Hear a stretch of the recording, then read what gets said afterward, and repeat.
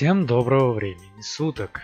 Итак, я наконец закончил прохождение диалогии Ace Attorney Investigations. По идее, если рассматривать серию Ace Attorney в целом, я должен был сначала поиграть в четвертую часть, и только после нее приниматься уже за спин и про Эджворта. Но тамошние события происходят аккурат после третьей игры и перед четвертой, так что будем идти по хронологии событий. Хотя связи между этими играми практически нет. Эта дилогия идет как-то самостоятельно отдельно. Собственно, как вы уже поняли, это продолжение детективной серии квестов слэш-новелл Ace Attorney. Только эта дилогия не про адвоката Жар-Птица Правдорубова, а про его друга и соперника, прокурора Мицуруги Рейджи, западной версии известного как Майлза Эджворта. Как уже вошло в традицию, в данной серии игр его имя является очередной игрой слов. Только на русский это так просто уже не переведешь. Пишите в комментарии свои варианты, будет интересно посмотреть. В отличие от Феньки, Майлз очень собран, хладнокровен, прагматичен и расчетлив. А в своих делах он рассчитывает прежде всего на свой ум и логику, нежели на авось и блеф. Это также выражается и в геймплейном, и в нарративном плане.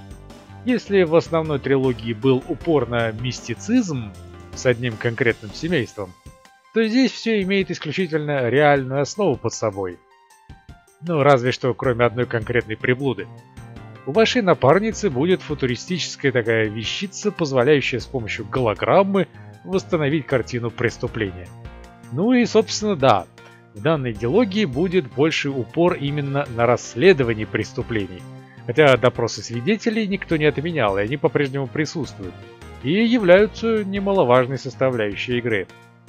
Также стоит отметить, что вам здесь дают гораздо большую свободу в перемещении героев, так что данная диалогия еще больше приближается к привычному в России понятию квеста.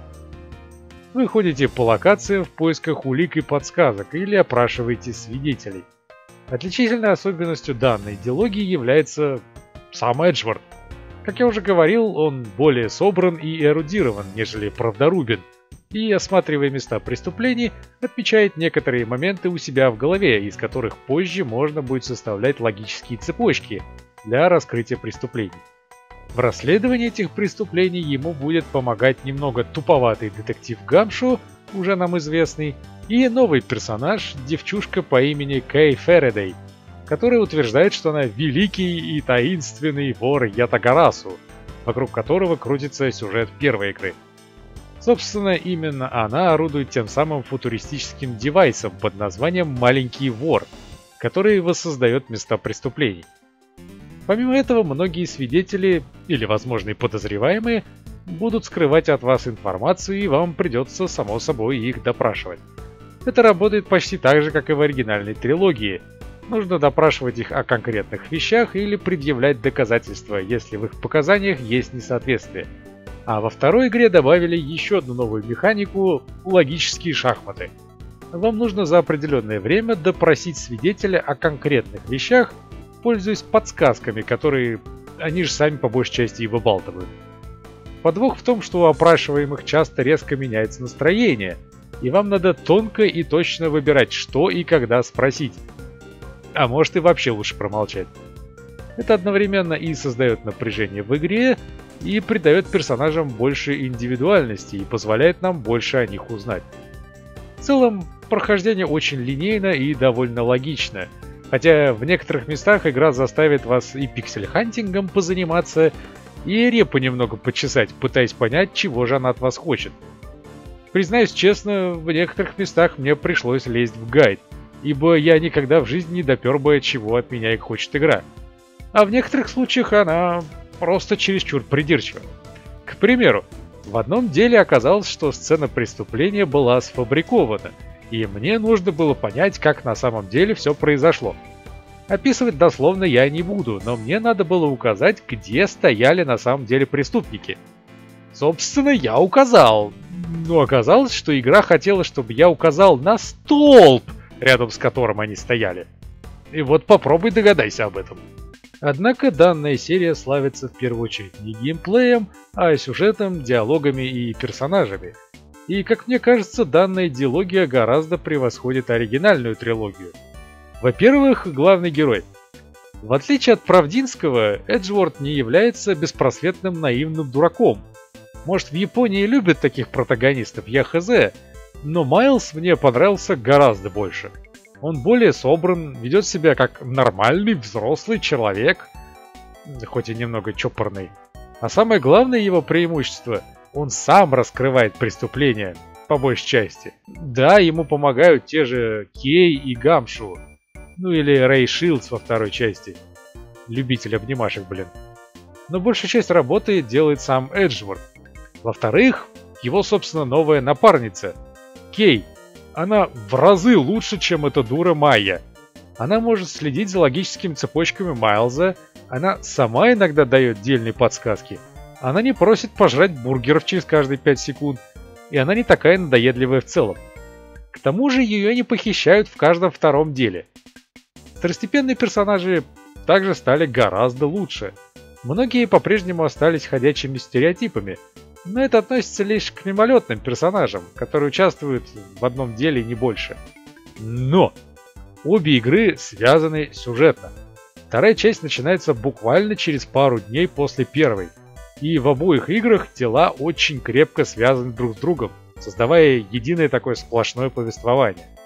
Отчего многие персонажи будут встречаться вам на протяжении всей игры или даже двух игр и развиваться по ходу этого приключения – Яркий пример это прокурор The Best во второй игре. Да, его назвали The Best. Вначале он будет просто ходячим определением полнейшего дебила, не способного ничего самостоятельно сделать. Соответственно, и сам он ничего додуматься не может. Но при этом он считает себя The Best. Но к концу игры он преодолеет поставленные перед ним преграды, сделает резкий поворот своей жизни и станет весьма способным самостоятельным прокурором. Злодеи в игре тоже в целом не отстают, они все довольно-таки интересные и харизматичные. И тут больше всего хочется выделить Головнюка из первой игры. Просто посмотрите на него. Его жесты, взгляд, манера речи. Вот именно этого не хватает многим клишированным злодеям в играх и фильмах. Так называемого присутствия. Такого просто видишь и понимаешь, что сейчас что-то будет. Он знает, что у него есть власть. Он знает, что вы против него ничего не имеете, и он просто над вами насмехается. Вот таких злодеев я люблю, при этом он не обладает какими-то там суперсилами. И черт побери, какие тут красивые женщины.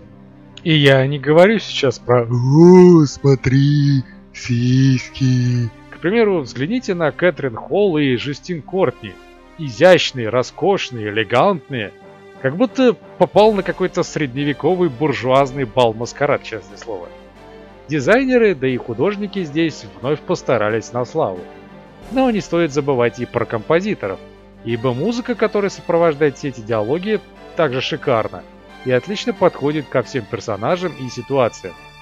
Если эта самая ситуация напряженная, то и музыка будет соответствующая. Если на сцену выходит комедийный персонаж, то и мелодия будет задорненькая. И тут надо напоследок обязательно похвалить сценаристов, Несмотря на то, что обе игры в первую очередь детективы, тут нашлось место и драме, и юмору. К примеру, в одном из дел вы попадаете на съемочную площадку фильма про Музилу, а в одном деле вам предстоит расследовать давно забытое последнее дело отца Майлза. И в целом это, пожалуй, одна из ключевых линий этой идеологии – взаимоотношения родителей и своих детей – Опять же, не буду вдаваться в подробности, я уже и так слишком много наспойлерил. Подводя итог, мне эта диалогия понравилась гораздо больше трилогии про Правдика, и я настоятельно рекомендую ее к ознакомлению.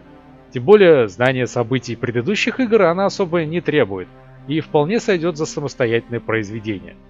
Обе игры вышли для Nintendo DS, первая в 2009 году, вторая в 2011.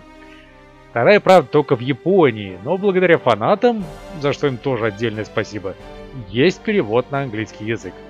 Ну а у меня на сегодня все. Пишите комментарии, что думаете о сегодняшних играх, рассказывайте о канале друзьям. Если есть возможность и желание, поддержите канал. Все ссылки вы найдете в описании. Всем спасибо за внимание, до скорых встреч!